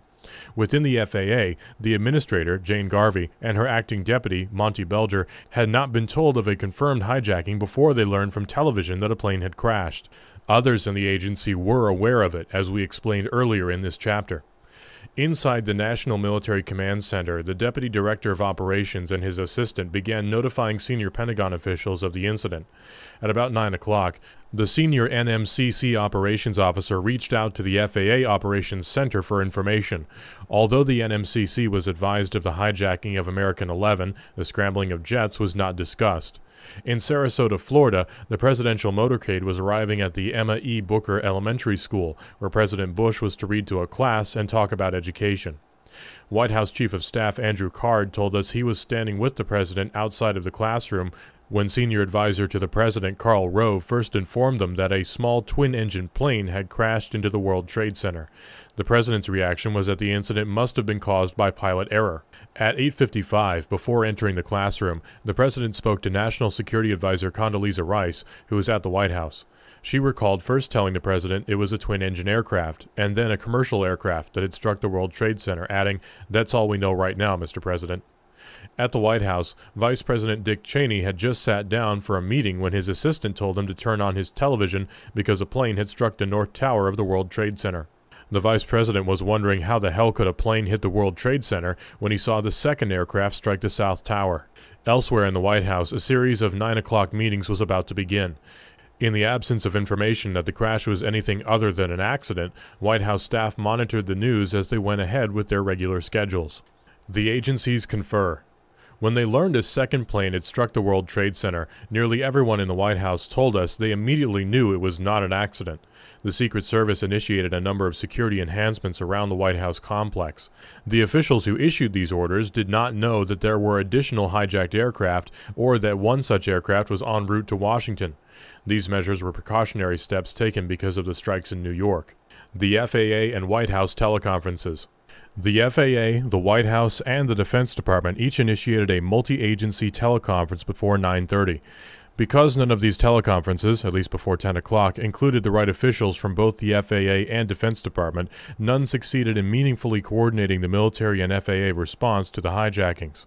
At about 9:20, security personnel at FAA headquarters set up a hijacking teleconference with several agencies, including the Defense Department. The NMCC officer who participated told us the call was monitored only periodically because the information was sporadic, it was of little value, and there were other important tasks. The FAA manager of the teleconference also remembered that the military participated only briefly before the Pentagon was hit. Both individuals agreed that the teleconference played no role in coordinating a response to the attacks of 9 11. Acting Deputy Administrator Belger was frustrated to learn later in the morning that the military had not been on the call.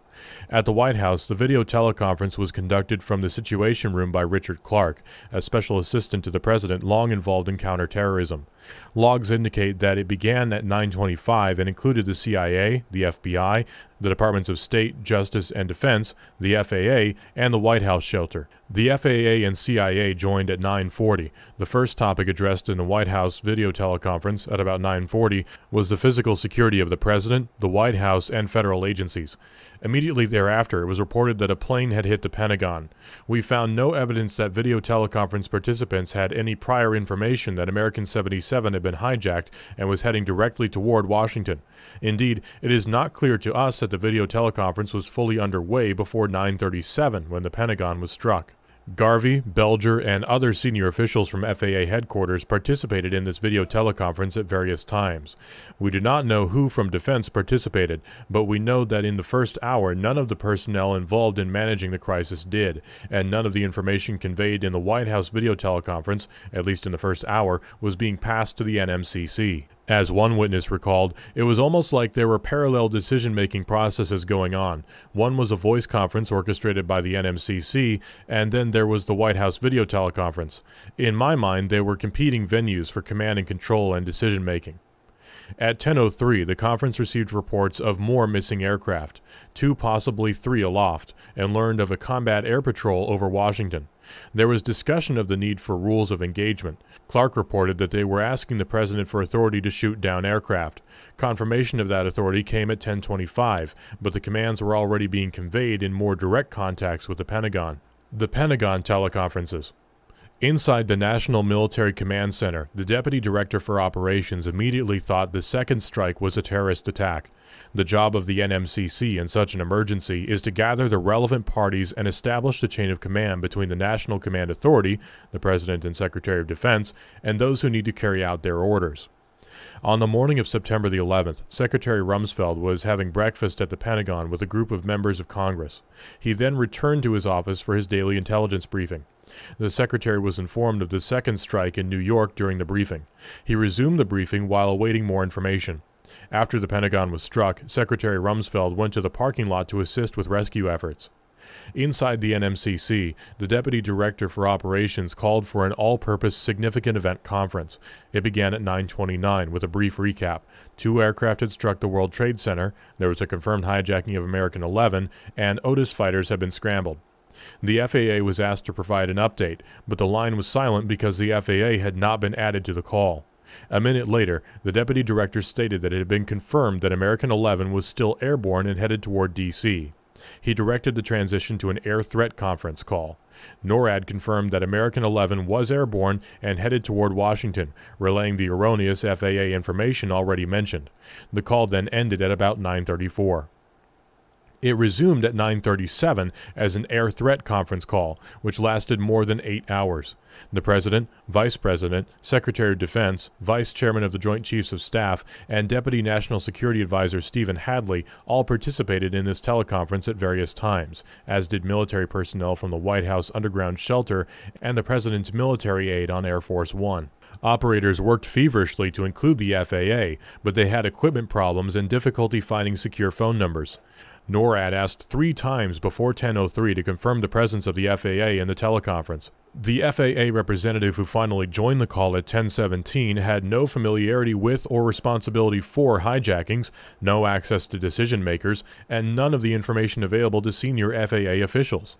We found no evidence that, at this critical time, NORAD's top commanders in Florida or Cheyenne Mountain coordinated with their counterparts at FAA headquarters to improve awareness and organize a common response. Lower level officials improvised. For example, the FAA's Boston Center bypassed the chain of command and directly contacted NEADS after the first hijacking, but the highest level Defense Department officials relied on the NMCC's Air Threat Conference, in which the FAA did not participate for the first 48 minutes. At 9:39, the NMCC's Deputy Director for Operations, a military officer, opened the call from the Pentagon, which had just been hit. He began, "An air attack against North America may be in progress. NORAD, what's the situation?" NORAD had conflicting reports. Its latest information was of a possible hijacked aircraft taking off out of JFK en route to Washington, D.C. The NMCC reported a crash into the mall side of the Pentagon and requested that the Secretary of Defense be added to the conference. At 9:44, NORAD briefed the conference on the possible hijacking of Delta 1989. Two minutes later, staff reported that they were still trying to locate Secretary Rumsfeld and Vice Chairman Myers. The Vice Chairman joined the conference shortly before 10 o'clock, the Secretary shortly before 10.30. The Chairman was out of the country. At 9:48, a representative from the White House shelter asked if there were any indications of another hijacked aircraft. The deputy director for operations mentioned the Delta flight and concluded that that would be the fourth possible hijack. At 9:49, the commander of NORAD directed all air sovereignty aircraft to battle stations fully armed. At 9:59, an Air Force lieutenant colonel working in the White House military office joined the conference and stated that he had just talked to Deputy National Security Advisor Stephen Hadley. The White House requested 1. the implementation of continuity of government measures, 2. fighter escorts for Air Force 1, and 3. a fighter combat air patrol over Washington D.C. By 1003, when United 93 crashed in Pennsylvania, there had been no mention of its hijacking, and the FAA had not yet been added to the teleconference. The President and the Vice President. The President was seated in a classroom when, at 9.05, Andrew Card whispered to him, A second plane hit the second tower. America is under attack. The President told us his instinct was to project calm, not to have the country see an excited reaction at a moment of crisis. The press was standing behind the children. He saw their phones and pagers start to ring. The president felt he should project strength and calm until he could better understand what was happening. The president remained in the classroom for another five to seven minutes, while the children continued reading. He then returned to a holding room shortly before 9:15, where he was briefed by staff and saw television coverage. He next spoke to Vice President Cheney, Dr. Rice, New York Governor George Pataki, and FBI Director Robert Mueller. He decided to make a brief statement from the school before leaving for the airport. The Secret Service told us they were anxious to move the president to a safer location, but did not think it imperative for him to run out of the door. Between 9:15 and 9:30, the staff was busy arranging a return to Washington while the president consulted his senior advisors about his remarks. No one in the traveling party had any information during this time that other aircraft were hijacked or missing. Staff was in contact with the White House Situation Room, but as far as we could determine, no one with the president was in contact with the Pentagon. The focus was on the president's statement to the nation. The only decision made during this time was to return to Washington. The president's motorcade departed at 9:35 and arrived at the airport between 9:42 and 9:45. During the ride, the president learned about the attack on the Pentagon. He boarded the aircraft, asked the Secret Service about the safety of his family, and called the vice president. According to notes of the call, at about 9:45, the president told the vice president, "Sounds like we have a minor war going on here. I heard about the Pentagon. We're at war. Somebody's going to pay." About this time, Card, the lead Secret Service agent, the president's military aide, and the pilot were conferring on a possible destination for Air Force One. The Secret Service agent felt strongly that the situation in Washington was too unstable for the president to return there, and Card agreed. The president strongly wanted to return to Washington and only grudgingly agreed to go elsewhere. The issue was still undecided when the president conferred with the vice president at about the time Air Force One was taking off. The vice president recalled urging the president not to return to Washington. Air Force One departed at about 9:54 without any fixed destination. The objective was to get up in the air as fast and as high as possible and then decide where to go. At 9:33, the tower supervisor at Reagan National Airport picked up a hotline to the Secret Service and told the service's operations center that an aircraft is coming at you and not talking with us. This was the first specific report to the Secret Service of a direct threat to the White House. No move was made to evacuate the vice president at this time. As the officer who took the call explained, I was about to push the alert button when the tower advised that the aircraft was turning south and approaching Reagan National Airport. American 77 began turning south away from the White House. At 9:34, it continued heading south for roughly a minute before turning west and beginning a circle back. This news prompted the Secret Service to order the immediate evacuation of the vice president just before 9:36. Agents propelled him out of his chair and told him he had to get to the bunker. The vice president entered the underground tunnel leading to the shelter at 9:37.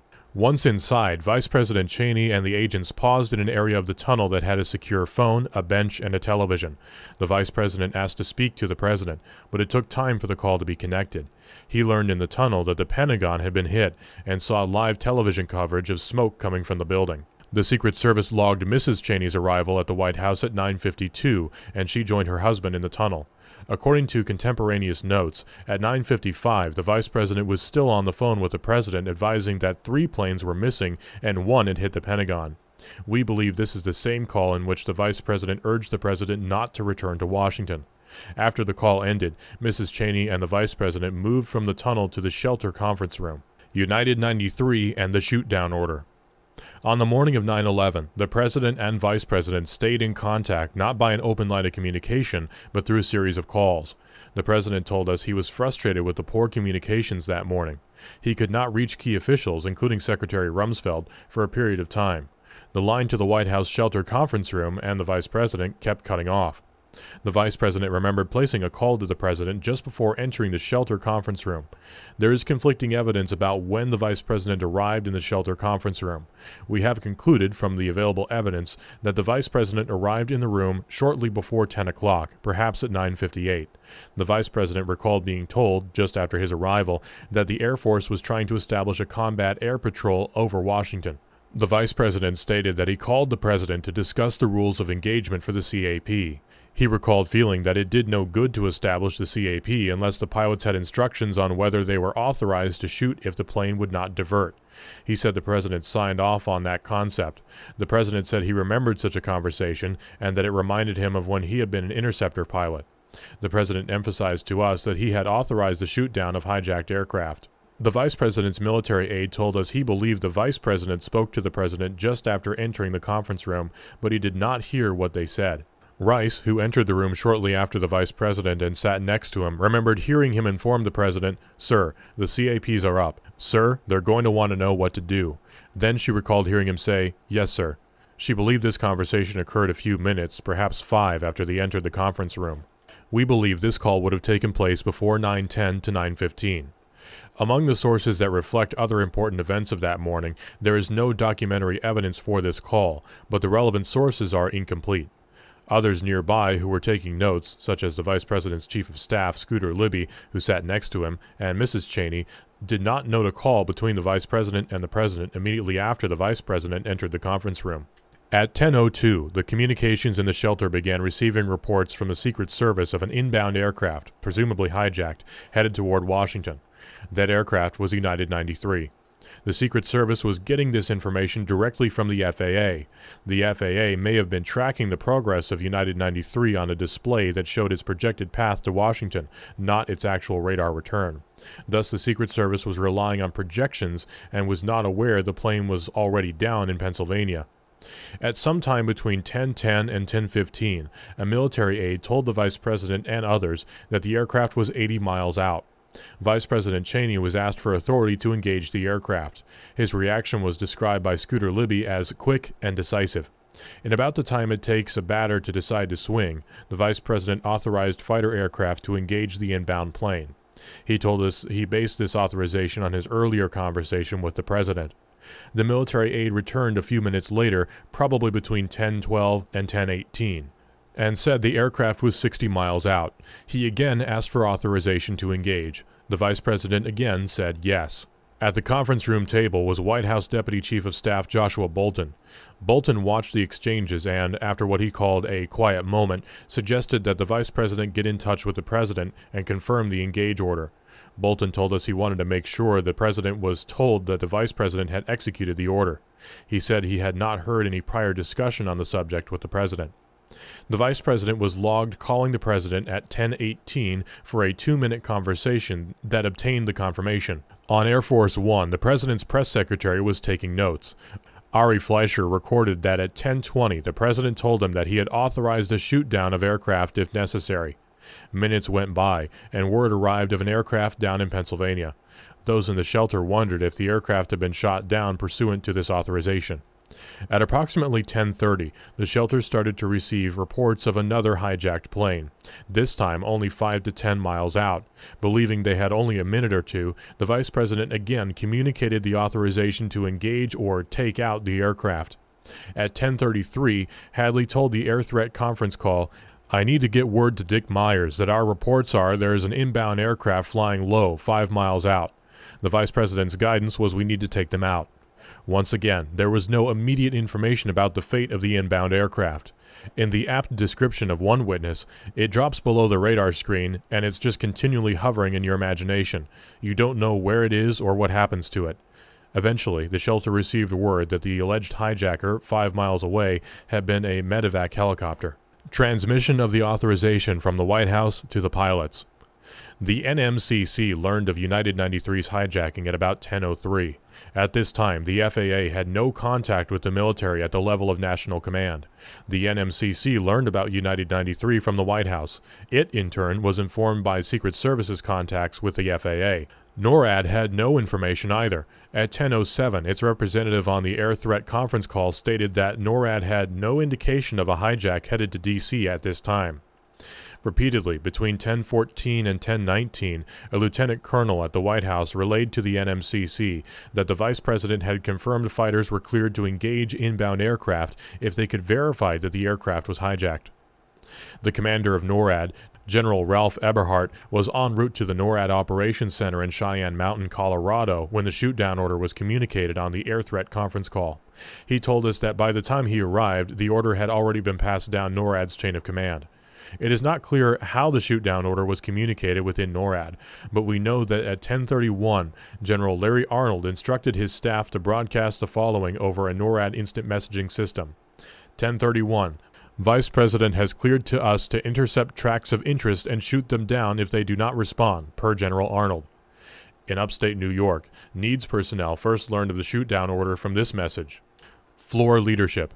You need to read this. Region Commander has declared that we can shoot down aircraft if they do not respond to our direction. Copy that? Controllers. Copy that, sir. Floor leadership.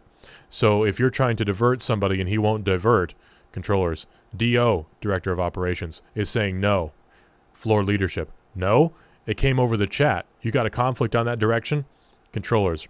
Right now, no, but floor leadership. Okay? Okay. You read that from the vice president, right? Vice president has cleared. The vice president has cleared us to intercept traffic and shoot them down if they do not respond, per General Arnold. In interviews with us, NEADS personnel expressed considerable confusion over the nature and effect of the order. The NEADS commander told us he did not pass along the order because he was unaware of its ramifications. Both the mission commander and the senior weapons director indicated they did not pass the order to fighters circling Washington and New York because they were unsure how the pilots would or should proceed with this guidance. In short, while leaders in Washington believed that the fighters above them had been instructed to take out hostile aircraft, the only orders actually conveyed to pilots were to ID type and tail. In most cases, the chain of command authorizing the use of force runs from the President to the Secretary of Defense and from the Secretary to the combatant commander. The President apparently spoke to Secretary Rumsfeld for the first time that morning shortly after 10 o'clock.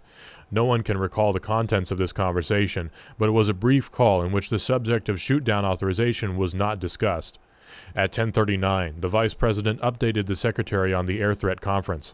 Vice President, there's been at least three instances here where we've had reports of aircraft approaching Washington. A couple were confirmed hijack, and pursuant to the President's instructions, I gave authorization for them to be taken out. Hello? SecDef. Yes, I understand. Who'd you give that direction to? Vice President. It was passed from here through the operations center at the White House from the shelter. SecDef. Okay, let me ask the question here. Has that directive been transmitted to the aircraft? Vice President. Yes, it has. SecDef. So we've got a couple of aircraft up there that have those instructions at this present time. Vice President, that is correct, and it's my understanding they've already taken a couple of aircraft out. SecDef. We can't confirm that. We're told that one aircraft is down, but we do not have a pilot report that did it. As this exchange shows, Secretary Rumsfeld was not in the NMCC when the shoot down order was first conveyed. He went from the parking lot to his office, where he spoke to the President, and then to the Executive Support Center, where he participated in the White House video teleconference. He moved to the NMCC shortly before 1030 in order to join Vice Chairman Myers. Secretary Rumsfeld told us he was just gaining situational awareness when he spoke with the vice president at 1039. His primary concern was ensuring that the pilots had a clear understanding of their rules of engagement. The vice president was mistaken in his belief that shoot down authorization had been passed to the pilots flying at NORAD's direction. By 1045, there was, however, another set of fighters circling Washington that had entirely different rules of engagement. These fighters, part of the 113th Wing of the District of Columbia Air National Guard, launched out of Andrews Air Force Base in Maryland in response to information passed to them by the Secret Service. The first of the Andrews fighters was airborne at 1038. General David Wherley, commander of the 113th Wing, reached out to the Secret Service after hearing secondhand reports that it wanted fighters airborne. A Secret Service agent had a phone in each ear, one connected to Wherley and the other to a fellow agent at the White House, relaying instructions that the White House agent said he was getting from the Vice President. The guidance for Wherley was to send up the aircraft with orders to protect the White House and take out any aircraft that threatened the Capitol. General Wherley translated this in military terms to flying weapons free. That is, the decision to shoot rests in the cockpit, or in this case, in the cockpit of the lead pilot. He passed these instructions to the pilots that launched at 1042 and afterward. Thus, while the fighter pilots under NORAD direction who had scrambled out of Langley never received any type of engagement order, the Andrews pilots were operating weapons free, a permissive rule of engagement. The President and the Vice President indicated to us that they had not been aware that fighters had been scrambled out of Andrews at the request of the Secret Service and outside the military chain of command. There is no evidence that NORAD headquarters or military officials in the NMCC knew, during the morning of September the 11th, that the Andrews planes were airborne and operating under different rules of engagement. What if? NORAD officials have maintained consistently that had the passengers not caused United 93 to crash, the military would have prevented it from reaching Washington, D.C. That conclusion is based on a version of events that we now know is incorrect. The Langley fighters were not scrambled in response to United 93. NORAD did not have 47 minutes to intercept the flight. NORAD did not even know the plane was hijacked until after it had crashed. It is appropriate, therefore, to reconsider whether United 93 would have been intercepted. Had it not crashed in Pennsylvania at 10:03, we estimate that United 93 could not have reached Washington any earlier than 10:13 and probably would have arrived before 1023. There was only one set of fighters circling Washington during that time frame, the Langley F-16s. They were armed and under NORAD's control. After NEADS learned of the hijacking at 10:07, NORAD would have had from 6 to 16 minutes to locate the flight, receive authorization to shoot it down, and communicate the order to the pilots who, in the same span, would have had to authenticate the order, intercept the flight, and execute the order. At that point in time, the Langley pilots did not know the threat they were facing, did not know where United 93 was located, and did not have shoot down authorization. First, the Langley pilots were never briefed about the reason they were scrambled. As the lead pilot explained, I reverted to the Russian threat. I'm thinking cruise missile threat from the sea. You know, you look down and you see the Pentagon burning, and I thought the bastards snuck one by us. You couldn't see any airplanes, and no one told us anything. The pilots knew that their mission was to divert aircraft, but did not know that the threat came from hijacked airliners. Second, NEADS did not have accurate information on the location of United 93. Presumably, FAA would have provided such information, but we do not know how long that it would have taken, nor how long it would have taken NEADS to locate the target. Third, NEADS needed orders to pass to the pilots. At 1010, the pilots over Washington were emphatically told negative clearance to shoot. Shootdown authority was first communicated to NEADS at 1031. It is possible that NORAD commanders would have ordered a shootdown in the absence of the authorization communicated by the Vice President, but given the gravity of the decision to shoot down a commercial airliner and NORAD's caution that a mistake not be made, we view this possibility as unlikely. NORAD officials have maintained that they would have intercepted and shot down United 93. We are not so sure. We are sure that the nation owes a debt to the passengers of United 93. Their actions saved the lives of countless others and may have saved either the Capitol or the White House from destruction. The details of what happened on the morning of September the 11th are complex, but they play out a simple theme. NORAD and the FAA were unprepared for the type of attacks launched against the United States on September 11, 2001. They struggled, under difficult circumstances, to improvise homeland defense against an unprecedented challenge that they had never before encountered and had never trained to meet. At 10:02 that morning, an assistant to the mission crew commander at NORAD's Northeast Air Defense Sector in Rome, New York, was working with his colleagues on the floor of the command center. In a brief moment of reflection, he was recorded remarking that this is a new type of war. He was and is right, but the conflict did not begin on 9 11. It had been publicly declared years earlier, most notably in a declaration faxed early in 1998 to an Arabic language newspaper in London. Few Americans had noticed it. The fax had been sent from thousands of miles away by the followers of a Saudi exile gathered in one of the most remote and impoverished countries on earth.